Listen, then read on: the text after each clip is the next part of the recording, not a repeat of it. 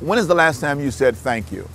When is the last time you just said thank you to anybody around you, to your kids, uh, to your boss, to those that you work around?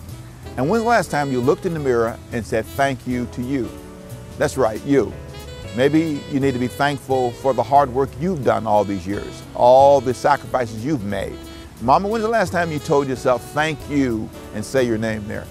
For giving these kids a life and for working hard as a single parent and for, for a dad who gave everything. Tell yourself thank you. That's right. It's not wrong. It's not wrong to say thank you to you.